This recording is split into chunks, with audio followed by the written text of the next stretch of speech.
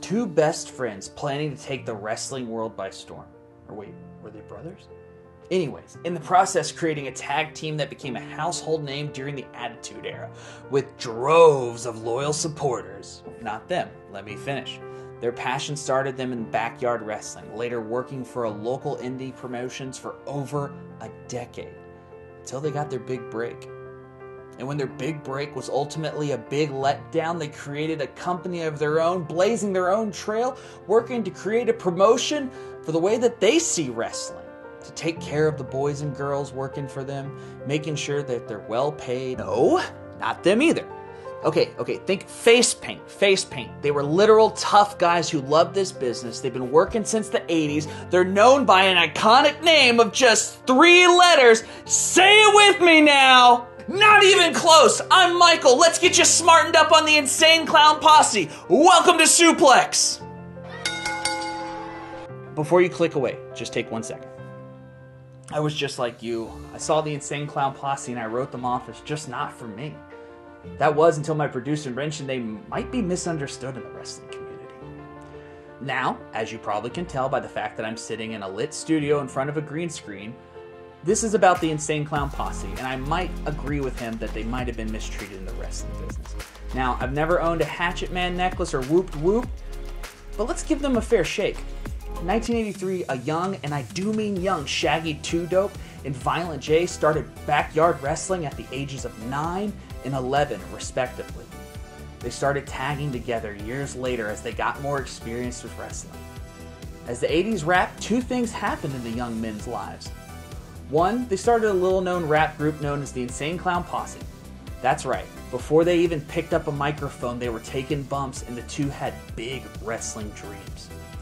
Number two, they even got trained. Their trainer was none other than Australia's greatest professional wrestler, Al Costello. That's right, the original man of a thousand holds was the trainer of the Insane Clown Posse. And if being the original man of a thousand holds isn't cool enough, he was also on a tag team known as the Fabulous Kangaroos.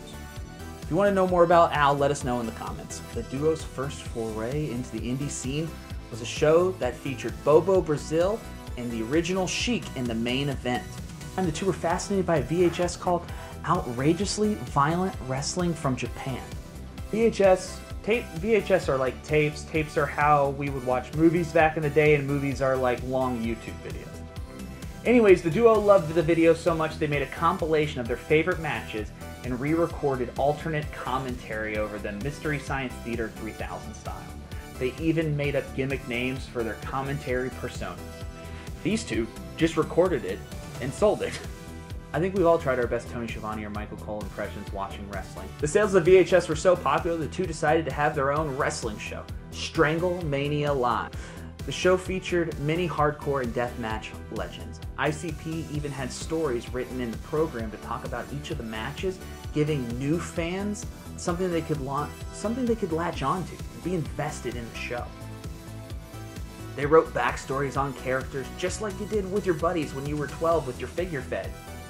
Or like I did when I was 16 and 15, 25, and 32. Anyways, 1997 was just what ICP needed after a rough couple years in their music career. I don't want to talk about their music career too long because that's not the purpose of the channel.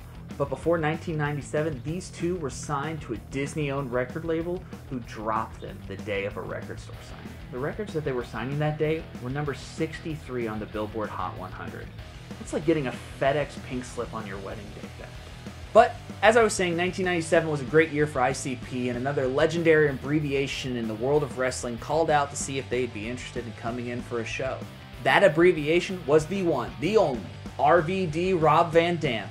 Apparently, RVD had been sending ICP tapes of ECW since the three of them became friends. In 1997, RVD and Sabu, the son of the original Sheik from their the two's first indie show, were the biggest heels that ECW had to offer. Heels are bad guys. At the second ECW pay per view Hardcore Homecoming, ICP took the stage and started performing songs for their upcoming nationwide tour. ICP was attacked by RVD and Sabu only to have the Sandman come and make the save, kendo stick in hand. Unfortunately for the Sandman, he would be stretchered out for his troubles.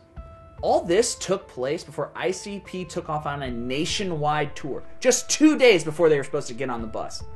I just love the fact that these two made it in music so big that they got to be on a world tour and they just went back to wrestling two days before because that's what they truly love to do.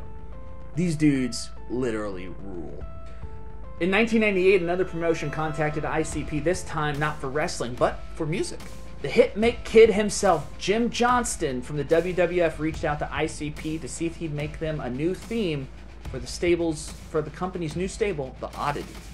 The Oddities had a lot of talent, whether it was Luna or Earthquake, also known as John Tenta. ICP was later slated to perform the theme song live at an upcoming show.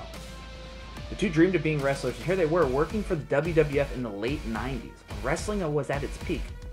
Oh, did I mention the show was going to be at Madison freaking Gardens? You know, spiritual home of the WWF? We're talking bucket list level stuff here. Oh, yeah. Remember that deathmatch compilation the two put together a few years ago? Well, it was basically old Mick Foley matches. That's right. Cactus Jack, Mick Foley, Mankind, Dude Love, whatever you want to call him. They cut him a freaking check for a VHS they made in the 90s. These guys essentially created a mashup of their favorite matches, made money off it, and still took care of the performers of the videos they were using. Absolutely bonkers. Could you imagine Matthew from Botchamania sending Sin Cara a check with a little note that says, Oi, thanks for the flat quid, governor. Duo stated in an interview they asked for a place to get ready for, at the Madison Square Garden show. And they were given a locker room to share with none other than Stone Cold Steve Austin and the dead man himself, The Undertaker. They later on went to say they felt so privileged to get share a locker room with the two legends. Listening to them put their match together that night was one of the best feelings they ever had. I don't think the feeling was mutual because the Texas Rattlesnake literally brought a shovel to the ring to metaphorically bury the ICP later that year. Since the ICP didn't have contracts while wrestling with the WWF, they were wrestling for free. They never took one dime that could have gone to a full time wrestler. They only had one request in return. What could two insane clowns want in return for wrestling? Ad spots. They wanted ad spots. ICP requested WWF run at least two commercials on a show. A short lived but hard hitting feud with the Headbangers, and their stint in WWF was over kind of heartbreaking that ICP were instructed to act as though as they didn't know how to wrestle, despite working in the business for almost a decade and a half. They had done it. ICP made it to the WWF, performed at Madison Square Gardens, wrestling bucket list complete. Guess it's time to focus on the music now. Nope, the Monday Night Wars were in full effect, and WCW came a calling for ICP services. It wasn't long after ICP joined the WCW gang that they were put into another stable, this time with Raven and Vampiro. They called themselves the Deadpool. The Deadpool didn't last long though, and ICP soon started a second stable called the Dark Carnival. Another cool name, two for two. ICP traded out Raven for the Great Muta and the Kiss Demon, which as a kid, I thought Gene Simmons was a wrestler, which, I mean, like, that's neat, but ultimately it was Dale Torborg, a journeyman wrestler. But while in WCW, ICP tore it up with the likes of Rey Mysterio, Eddie Guerrero. Eddie was actually very complimentary of him. He knew how much they loved and respected the business, and he appreciated that. A big trios win against the Tank Abbott led boy band three count. The 90s were weird and fun. One scary, awesome bomb off the top of a school bus, which led to a terrible injury for Shaggy, and the two were out of the promotion. The two had done it all. Over 14 years in the wrestling business, it was time for them to hang up their boots. Or that's what would have happened with any normal clown posse, but these boys were insane! They would go on to wrestle until this very day. They wrestled in ROH, TNA, and various indies throughout the world.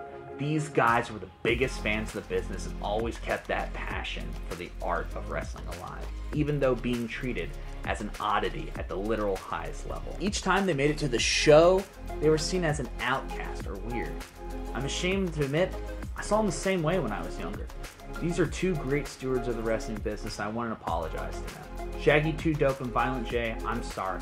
You all worked your asses off to get those spots in WWF and WCW. You weren't some reality TV star or some YouTuber looking to sell energy drinks.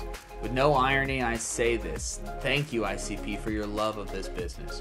You were looked down upon and counted out by most of the wrestling industry, except yourselves and you said, screw you, we'll do it on our own. And that's an attitude that can only be described as very Detroit. That, I say, Whoop, whoop! Thank you all so much for watching. It means the absolute world to me. And welcome to Suplex.